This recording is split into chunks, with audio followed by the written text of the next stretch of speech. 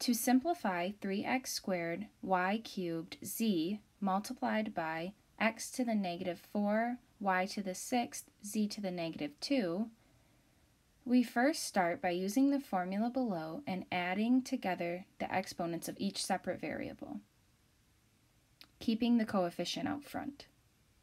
In doing this, we get 3x to the negative 2, y to the ninth, and z to the negative 1.